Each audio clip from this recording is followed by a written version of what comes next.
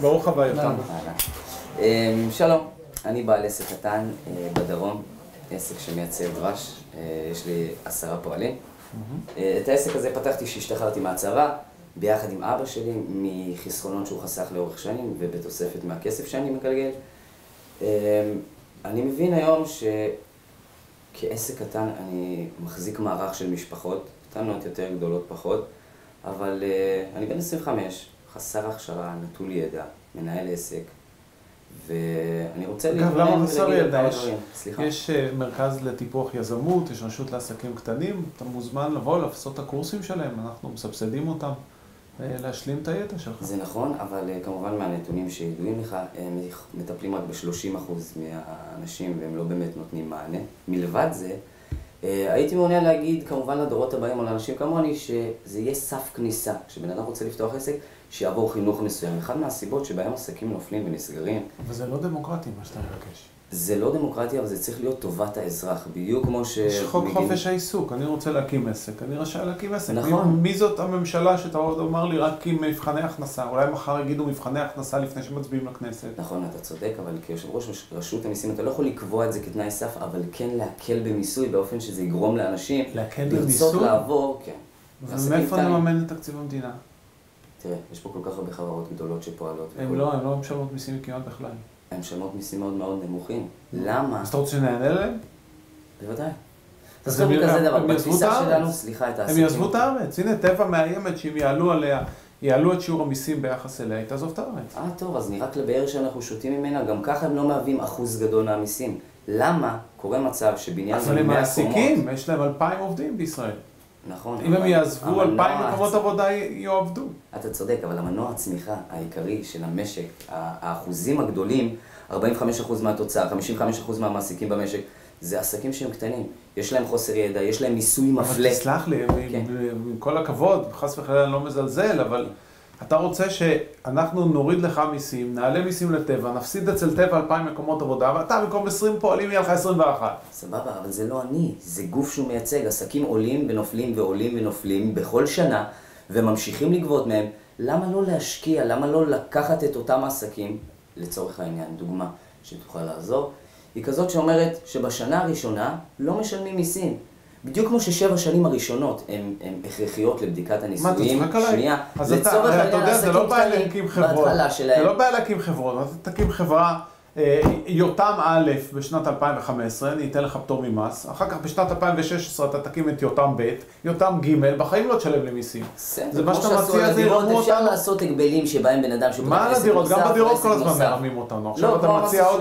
לא, כמו דירה שלישית. יעשו מיסים ברגע לא שבן. אדם פותח עוד... תראה, דרכים לתפוס רמאים יש, מי יודע כמו רשות המיסים. מס הכנסה. לא, אנחנו. תופסים לא רק את. הקטנים. רק את הקטנים, את הגדולים אנחנו מתקשים. אמ, אוקיי, שאלה נוספת. למה אין יחס שונה לעסקים קטנים? למה הרשות לא מפתחת יש כלים יחס ממוחשבים שונה. אתה מקוונים? משלם מס חברות, ולא זכאי להקלות בחוק עידוד השקעות הון. ולמה? יש? יחס שונה, הנה שונה, אתה משלם יותר אז למה מהגדולים. אפליה? למה לקחת את הקטנים ולהמשיך לטחון אותם כשיתחלפו כי בזמן שהגדולים יושבים למעלה ומתרווחים? אם אנחנו נעלה מיסים לגדולים, הם מאיימים לעזוב את הארץ. שיעזבו, אנחנו למשל מעדיפים את מפעלי ים. המלח, מפעלי ים המלח במשך שנים קיבלו פטור ממיסים. למה? למי הם שייכים? שוב אני אומר, אם נעלה להם מיסים, שקשור, יעזבו את הארץ. הם יעזבו את הארץ, הם ייקחו את הים וילכו. גם אוקיי. ככה הים הזה הולך ויורד. אתה רוצה שגם ייקחו אותו וילכו? מה יושב ראש אה, רשות המיסים חושב על היוזמה של השר דרעי בנוגע לרגולציה דיפרנציאלית שתעזור לעסקים קטנים? תראה, אנחנו כעסק קטן מסתכלים למעלה, אתה לתוך רשות המיסים, לרגע אחד, אתה סליחה. מתכוון לתחומים מסוימים שיהיו פטורים ממע"מ? גם, וגם להקל. לעשות הכל, אנחנו מאוד נגד, ואני אגיד לך למה. לעשות הבדלה, אפליה. מתקנת שבה היא אומרת עסקים קטנים, ילדים, הורים, מה זה אפליה מתקנת? תהיה- קונקרטי. תהיה כן. קונקרטי. השר דרעי דיבר על למשל לפטור ממע"מ מזון. לזה אתה מתכוון? לא, אני מדבר על הנושא של רגולציה דיפרנציאלית לעסקים קטנים כדי להקל על הפעילות שלהם, על ההתנהלות שלהם. רגולציה, אתה מדבר על רגולציה בתחום המיסוי או רגולציה כן, מיסוי, אחרת? מיסוי. איזה רגולציה? מה אתה רוצה ממני? איזה רגולציה אני משית עליך? אני בסך הכל מבקש ממך שפעם בחודש תשלם לי מיסים. שום רגולציה ושום נעליים, אתה יכול לשלם לי את זה סגור, מקוון. שאלה נוספת. מלא פעמים מושכים מקדמות מבעלי עסקים. עוד לפני שה... מה זה מקדמות? זה מקדמות. לפי החישוב של הרווח המשוער רגע, שנייה, שלך. קל לך לדבר מתוך הנקודה של יושב רשות המיסים. אנשים פה זה משפחות, זה ילדים צעירים שלקחו את כל הונם, את כל כספם, הם לפעמים עקב תשלום לספקים ולפני גבייה מהלקוחות נכנסים לבעיות של תזרים מזומנים, נכנסים לבעיות של אשראי, הבנקים לא נותנים להם, ואין להם איך להתנהל. המיסוי צריך להיות שונה, מפלה, באופן למה? חיובי, דווקא? לאוכלוסיות החלשות. למה? למה? אני אגיד לך למה? מספרים. כי הם מהווים אחוזים גבוהים מהמשק.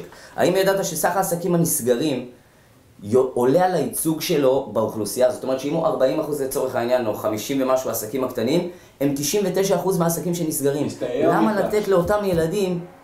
סליחה. לא, אחלה, בסדר גמור. תודה. נגעת בנקודה אבל מאוד חשובה דווקא בסוף. השיעור של העס... מי שנסגר זה העסקים הקטנים. והעסקים הגדולים לא נסגרים. מה זה אומר? שהממשלה באיזושהי צורה, או המשק הזה, נותן להם ביטוח. נותן להם ביטוח, או בזה שלא נותנים להם פטור, או שהם פטורים מחלק גדול מהמיסים, או זה שנתח האשראי המופנה אליהם הוא לא פרופורציונלי, לא לסיכון ולא לגודל שלהם. זאת אומרת, יש להם איזשהו מערך תמיכה שלכם. לכם העסקים הקטנים. צריך להתאגד. נגעת בנקודה מאוד חשובה, אבל דווקא בסוף. בסדר. אחלה. תודה רבה רבה. יאללה, נהניתי. תודה רבה.